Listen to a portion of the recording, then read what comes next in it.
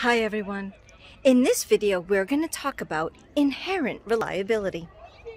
I'm at Stonebridge Farms in Cullman, Alabama at a wedding, and it's the perfect time to talk about inherent reliability. The definition of inherent reliability is the kind of reliability an item exhibits when it's protected by the right proactive maintenance and some other default strategies.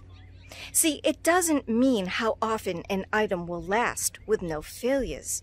And that's why a wedding is the perfect place to talk about this. Because when it comes to most marriages, when you first get married, everything is new and you're in love and it doesn't feel like anything could ever go wrong.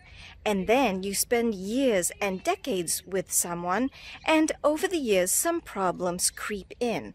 So you have to put work into the relationship in order for it to work and in order to stay happily married for a lifetime. Well, the same thing goes when it comes to our equipment.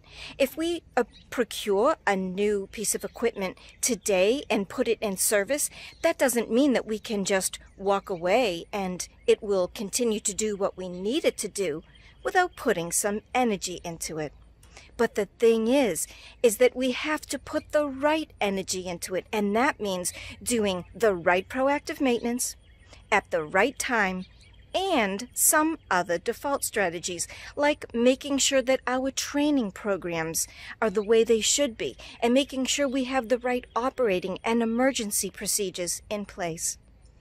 So there you have it. Inherent reliability, preserving our equipment's inherent reliability is just like making sure that our marriage stays in a good place. And that means putting the right kind of energy into it. I'm Nancy Regan from Cullman, Alabama. Thank you for watching.